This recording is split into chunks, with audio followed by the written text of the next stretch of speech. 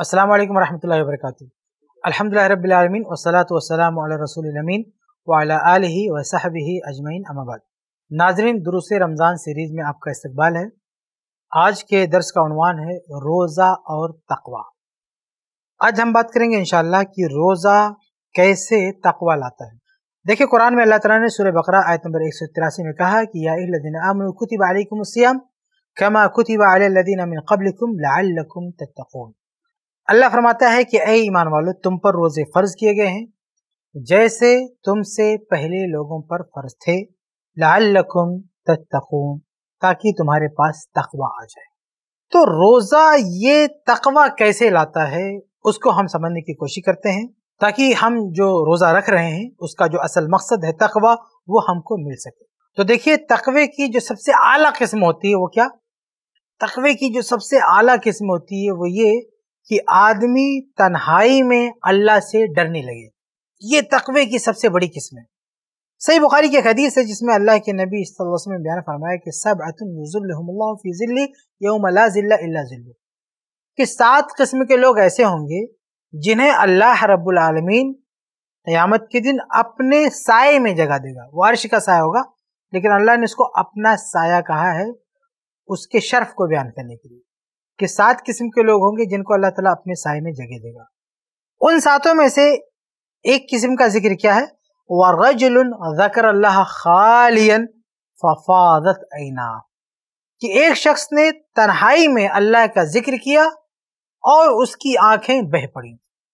तो देखिए, तन्हाई में अल्लाह के खौफ की कितनी अहमियत है कि अल्लाह ताला कहता है कि इस तरह के डरने वालों को मैं क़यामत के दिन अपने साय में जगह दूँगा, यानी अर्श के साय में, कि उस दिन कोई साया नहीं होगा, सिर्फ़ यही एक साया होगा, उस साय के नीचे अल्लाह ताला ऐसे लोगों को जगह देगा, जो तन्हाई में अल्लाह से डरते तो तकवे की ये सबसे आला किस्म होती है तन्हाई में अल्लाह से डरना।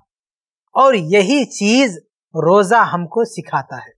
आप जरा गौर करें कि जो शख्स वाकई सच्चे मानों में रोजा रखता है, वो लोगों के सामने कुछ नहीं खाता लोगों के सामने कुछ नहीं पीता।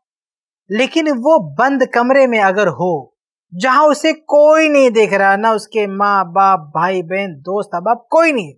कमरा लॉक है, अंदर बैठा हुआ है। ठंडा पानी रखा हुआ है। फ्रिज में खाना रखा हुआ है। सब कुछ रखा हुआ है। वो चाहे तो पानी पी सकता है। वो चाहे तो खाना खा सकता है। लेकिन इसके बावजूद भी ना वो खाता है और ना वो पीता है। क्यों? इस तन्हाई के आलम में कौन सी चीज़ उसे रोक रही खाने से और कौन सी चीज़ उसे रोक रही है पीने से? ये सिर्फ़ और सिर्फ़ अल्लाह का खौफ है। ये अल्लाह का तकवा है। ये डर है कि कोई नहीं देख रहा है, लेकिन अल्लाह ताला तो हमको देख रहा है।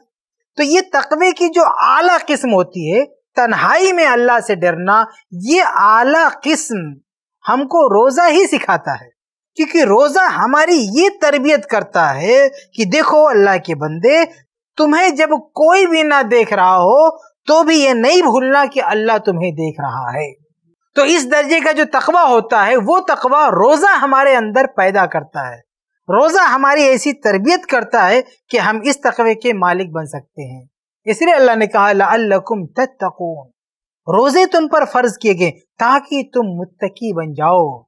अल्लाह से डरने वाले बन जाओ। और हकीकत में तकवे की जो सबसे आला शक्ल होती है वो रोज़े ही से सीखने को मिलती है। रोजा हमें सिखा देता है कि हमें तन्हाई में अल्लाह तला से डरना कैसे और फिर इसका मकसद क्या है? कि अगर हमने रमज़ान में रोजों से ये तकवा सीख लिया कि अल्लाह से तन्हाई में भी डरना चाहिए तो उस तकवे का मकसद क्या हुआ?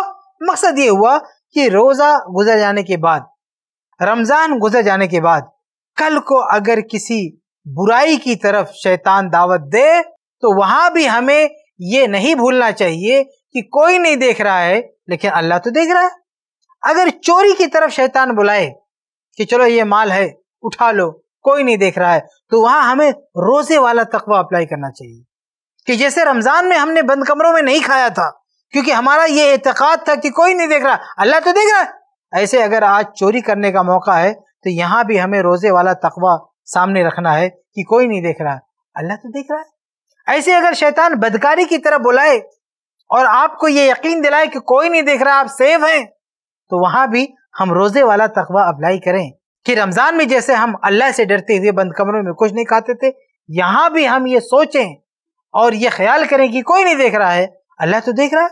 तो ये है मेरे भाई वो तकवा जो रोजा हमको सिखाता है, यानी तन्हाई में जब कोई ना देख रहा हो तो भी अल्लाह से डरना, तकवे की ये कैफियत रोजा हमारे अंदर पैदा करता है। तो ये तकवे की जो आला शक्ल थी, वो रोजा हमको देता है। इसके अलावा तकवे की एक शक्ल ये भी होती है कि आदमी ज़्यादा से ज़्यादा इबादत अंजाम दे। और हमारे यहाँ आमतौर से ऐसे ही को मुतकी कहा जाता है, जो बहुत ज़्यादा नमाज़ पढ़ता है, रोजा रखता है, सदका खैरात करता है, ऐसे लोगों को मुतकी कहा जाता है। तो ये चीज़ भी रोजा हमें सिखाता है, क्योंकि रोज़े की हालत में हम बहुत सारी इबादत कर रहे होते हैं।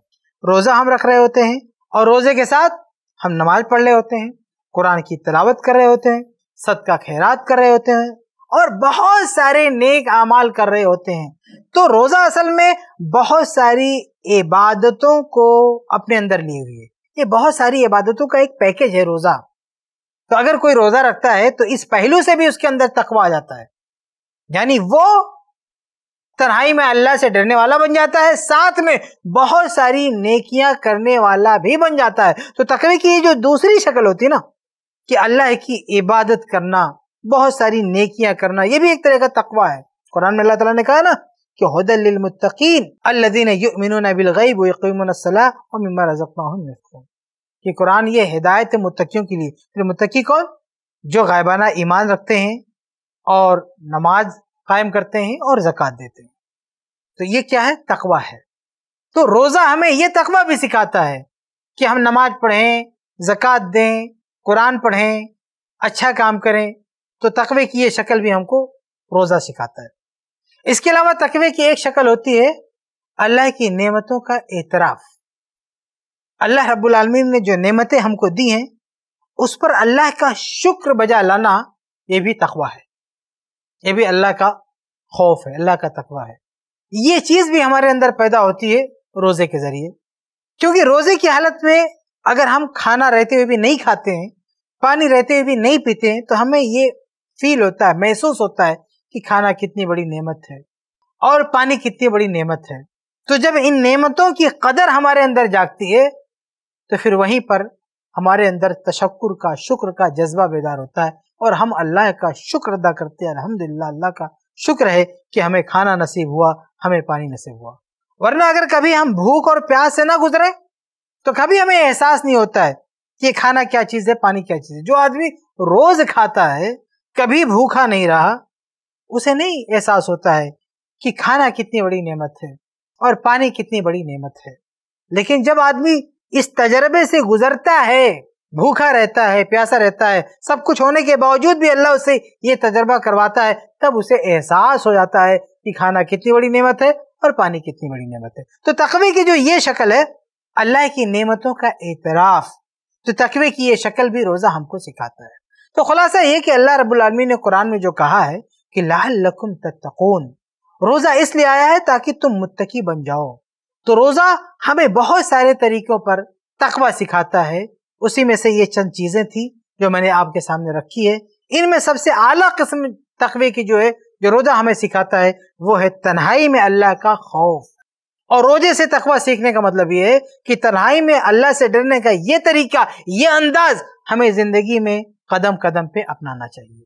तो ये आज का दर्स था, रोजा और तकवा से मुतलिक कि रोजा हमें तकवा कैसे सिखाता है। अल्लाह से दुआ है कि अल्लाह ताला हम सबको तौफीक दे कि हम सही ढंग से रोजा रखें। और उससे तकवा सीख सकें और दुनिया और आखिरत को संवार सकें। अल्लाह हमें इसकी तोफीक दे। आमीन रब्बुल आलमीन। अस्सलाम वालेकुम रहमतुल्लाहि व ऐसे ही और वीडियोस बनाने में हमारी मदद करें।